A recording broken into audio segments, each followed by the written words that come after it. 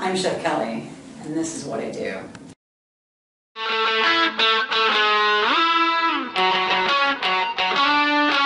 Yeah,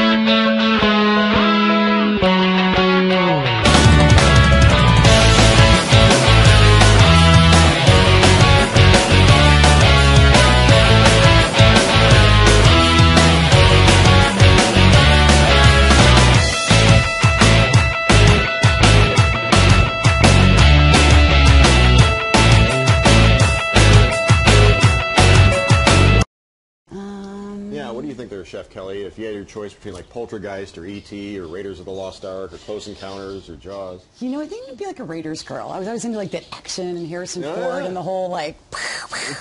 And he always like That's the the universal female sound effect.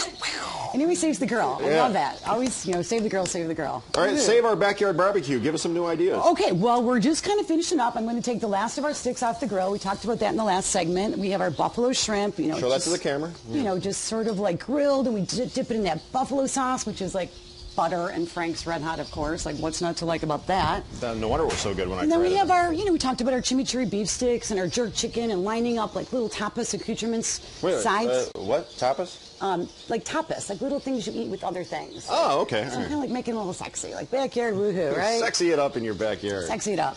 All right, so we have our corn salsa. We talked about doing hot and cold, like a watermelon with the basil, and that's good with the hot.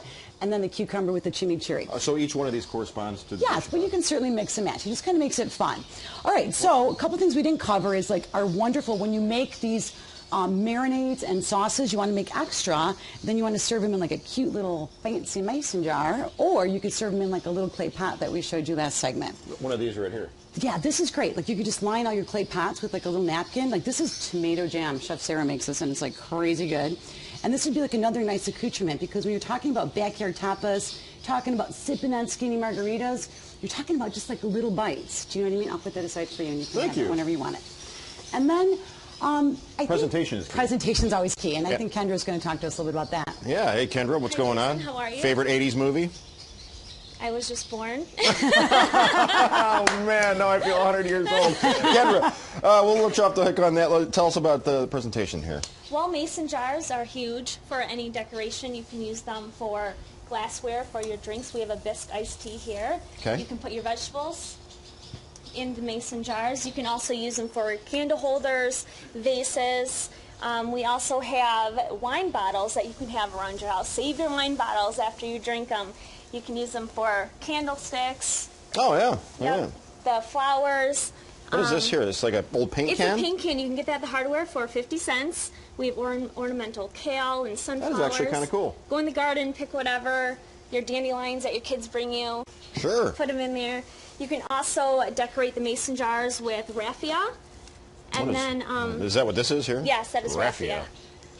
All right. Thank you, Kendra. Yes. Here's raffia. raffia. Raffia. Tabletop pots, like you're draining them on your porch, pull it out, Yep. st- stick it on the table, clean it up. Right. You know, um, rocks, like maybe get a shot of the river rocks. That's Oh, there actually a you little table runner my Aunt Norma gave me, so I brought it in today. Thanks, Aunt Norma. But you could just go and pick up like those nice shiny rocks at the hardware store, spill them on the table. Throw 'em Kind of gives the you like, ground. then when you're done, guess what? You throw them on the ground. Throw them in the Right. river. Throw 'em in the river. Throw River them in the rocks. river. Yeah, if you just happen to have a river by your house. Stones.